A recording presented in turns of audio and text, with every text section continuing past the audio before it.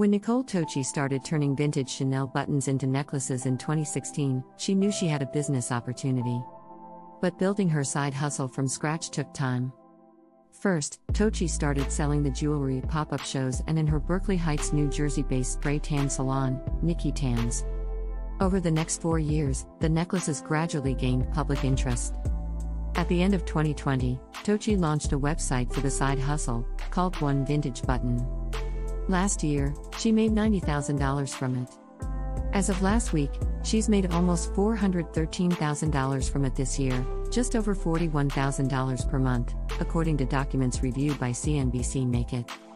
The best part, Tocci says, she only dedicates three hours per workday to her lucrative side hustle. Tocci, 45, credits One Vintage Button's growth to an Instagram strategy, getting influencers to share her products, and strict before and after work routines to help juggle her side hustle and full time job. I don't really think having two businesses is a struggle for me, she tells CNBC Make It.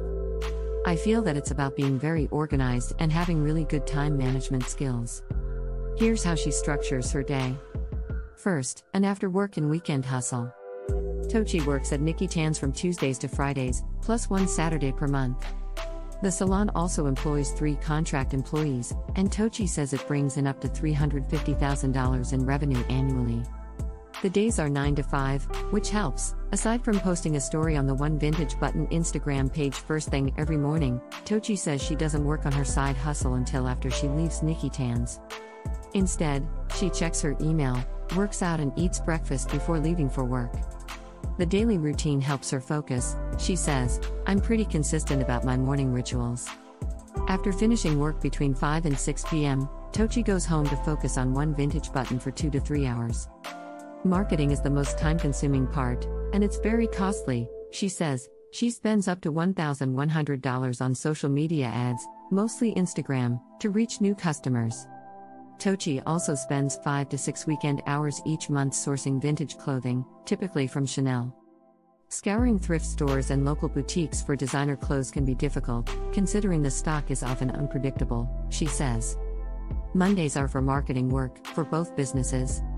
Tocci mostly takes Sundays off to recharge, reserving one hour to organize for the week ahead. And secondly, lessons in stillness.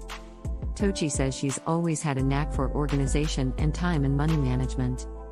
Her first few years of running Nikki Tans taught her that routines can additionally help with productivity, she adds. But the side hustle, which comes to roughly 20 hours of additional work per week, presented a new challenge. It forced her to become more understanding with herself and the people around her when things don't go as planned, she says.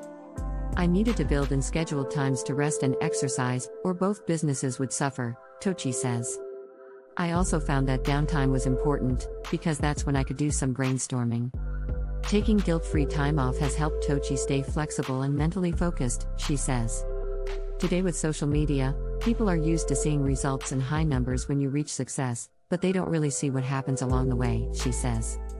My side hustle isn't something that just happened overnight two years ago. It was a process, and it took confidence to give that idea a certain amount of time to see if it would work or not.